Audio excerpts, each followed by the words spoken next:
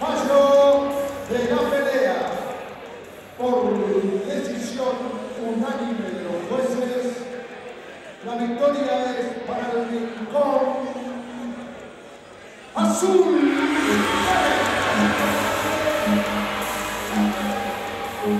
Cada vez que la veo siempre saco conclusiones nuevas. ¿Qué combinaciones podrían haber surgido? ¿Qué otro plan estratégico de pelea hubiese sido mejor?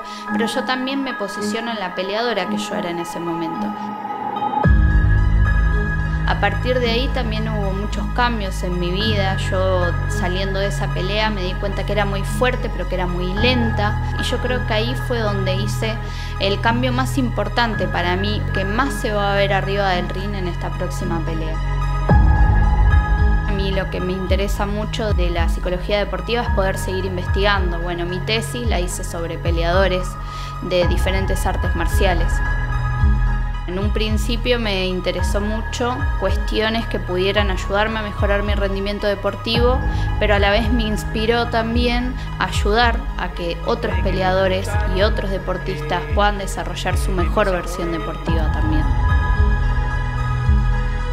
Yo creo que la victoria de ese entonces era una victoria más pensante, más hacia adentro, más introvertida.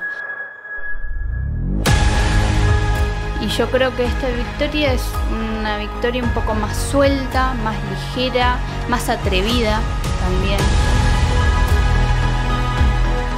No va a dejar que lo pases por encima sino más y que te va a meter en su propio juego. También es un personaje que sabe jugar.